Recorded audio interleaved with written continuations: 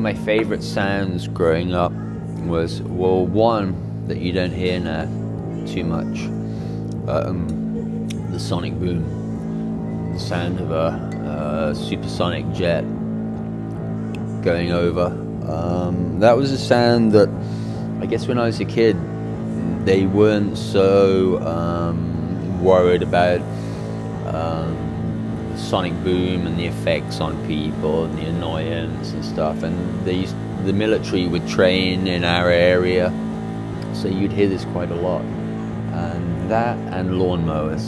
Um,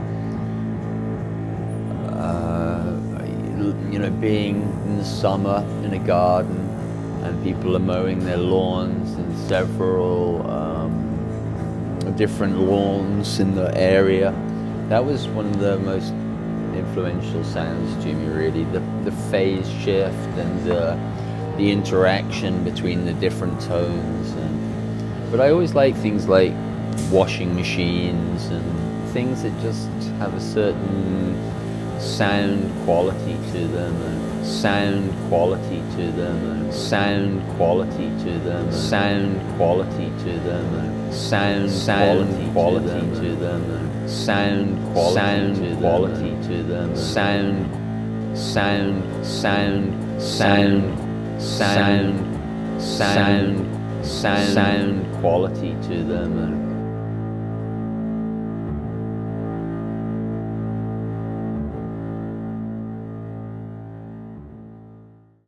partly modular synthesizers and partly synthesis in general, um, additive synthesis as well as subtractive synthesis, uh, FM synthesis, all different types. All, of course, are totally, totally interrelate, and what they have mostly in common is things like the harmonic series and things like this, which Delia Derbyshire is um, the person who I learned most about the, the, the properties of sound, the way that uh, sounds work, the way, the theory that you can create any sound from an array of sine tones, harmonics. Um, if you can modulate each of these um, sine tones and harmonics in the right way, in theory, you can replicate any sound. I read something about it. Panda Bear was saying that you are the, the kind of guy that uh, listen to a sound and then can recreate it in the synthesizer. it's true? Ah, wow. Phew. Uh, sometimes. Yeah. Sometimes. Yeah, that's what I try to do. Uh, usually for sounds, if you, uh, if you have an idea of something that you're trying to get and you understand the way synthesis works, it's not that hard to, um, to translate it. I think maybe it's something that I learned from Delia Derbyshire from the Radiophonic Workshop. Yeah. You, you knew her, you worked I knew her, and uh, at the end of her life, she was living kind of as a hermit. Actually, I think she lived as a hermit most of her life. Yeah. But at the end of her life, she was living as a, a reclusive hermit, totally reclusive hermit. Um, and I found her somehow. Different stories. No one really remembers exactly how. Um, but uh, she taught me pretty much everything I know about um, not, not so much synthesis. I had a, fair uh, grounding in yeah. that, but in the um,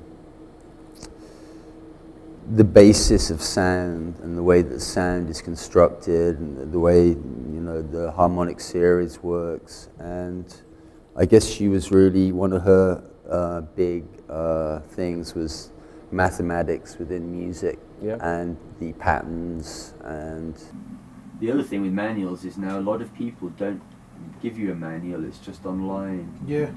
And I learned Even Pro Tools is, is online. It's what I read in the bathroom in the morning. You know, it's uh, that's I read manuals for things that I have new, and I read them inside out. If I can, I'll even get the manual before I buy the thing and start reading it. it makes a lot of difference. You can't, Yeah. you can't do that with a computer. Another reason why I really like the modular synths was you can create sounds with them for which there is no there is no pre-existing mind picture. If I play a piano or a guitar, immediately there's this mind picture of the instrument because we know what it is. We know what we recognize that sound. But with a synthesizer, you can create atmospheres and you can create sounds where all you can do is wonder what the hell could possibly create sound like that, you know. It's impossible to think it's a box with a load of lights and knobs on it, you know. They have, uh, I it seems you can create very organic, interesting sounds with them.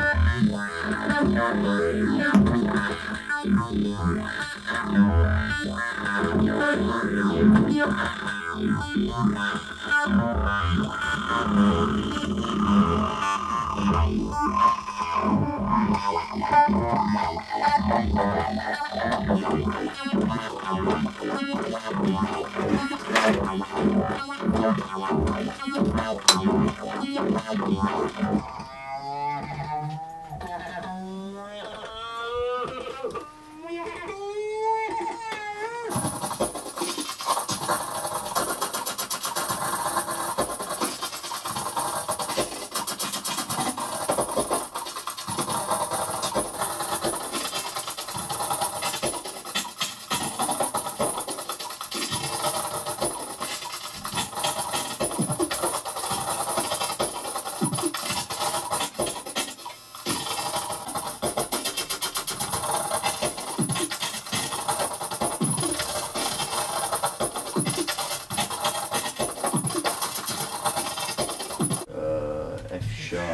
be a black note.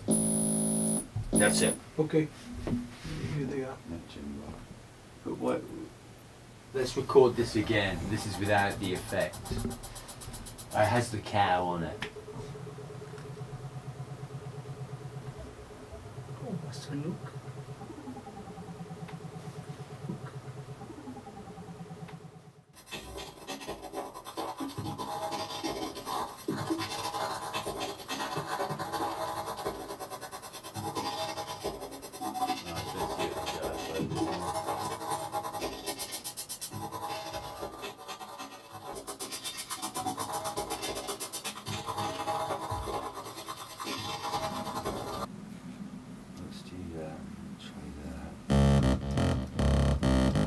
But this should be constantly sending out.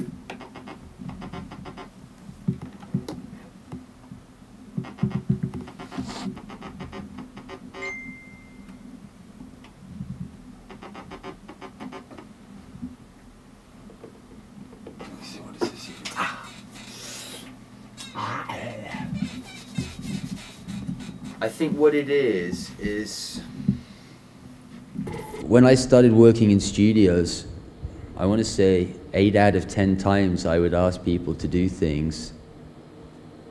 They would tell me that's not what that's for, and I, I, my, my question would always be, will it break it? and the answer was always no.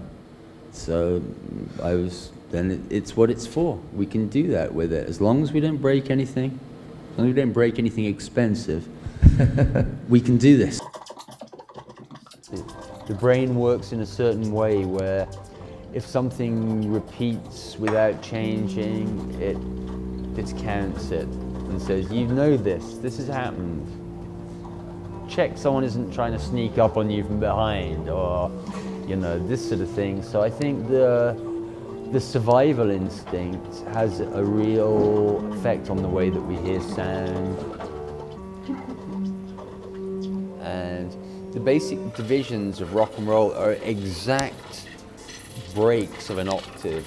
So if you have a string that long and you bridge it halfway and make it half as long, it's twice the frequency. If you bridge it a third of the way, I think that's the fifth. So these relationships, these these divisions of this whole are exactly the same divisions that are used in classical architecture to build rooms. So, for example, whatever the length is, a third of the length would be the height. Um, half of the length, or half might be the width. So I, I forget the exact correlation, and um, I'm not really interested, particularly in following the semantics of it. But they're absolutely related. You know, music is totally um, mathematically describable.